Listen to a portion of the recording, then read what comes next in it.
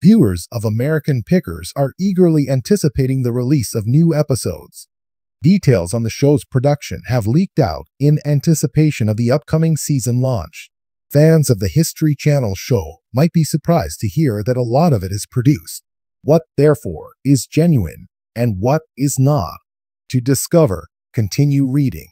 In order to film American Pickers, the cast changes things up. The U.S.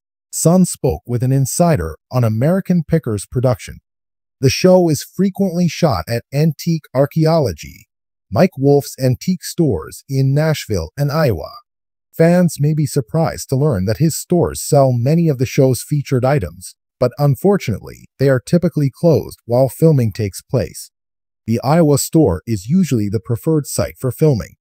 A source confirmed that the Nashville location is used for filming, but the Iowa store is clearly more important. Whenever they shoot, it's usually first thing in the morning. Sometimes they open late, and other times it's an hour or two before. In reality, you won't see Danielle Colby very often at the Iowa store, even if she is claimed to be working there. On several occasions, she is heard on the show contacting Robbie Wolfe, Mike, and Jersey Jon Szalay to alert them of their upcoming picking location. She comes less frequently out of everyone, but she still makes her way up here, the insider said. Now that she's a picker full time, she's constantly on the go.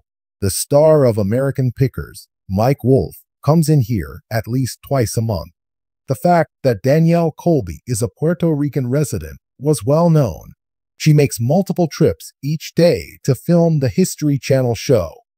Typically, Danielle is only in town for filming, According to an additional source, she currently resides in Puerto Rico and travels back and forth solely for picking.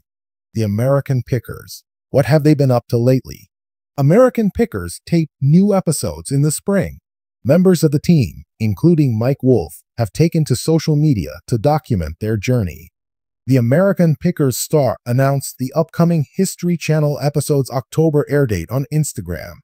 The present American Pickers cast and crew have all agreed to continue on for another three years, but in their spare time, they're all up to something else. In addition to her burlesque career, Danielle Colby resides in Puerto Rico. Mike is now known as something of a real estate tycoon in the volunteer state. He plans to revitalize the sleepy hamlet of Columbia, Tennessee, by purchasing multiple properties there. His most recent purchase was a 1,240 square foot property in December 2023 for $400,000, adding to his millions of dollars invested on properties in the neighborhood.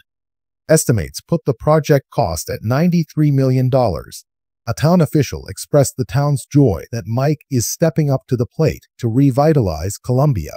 A lot is happening in the town right now. It's a move that some people in the community are excited about while others are not.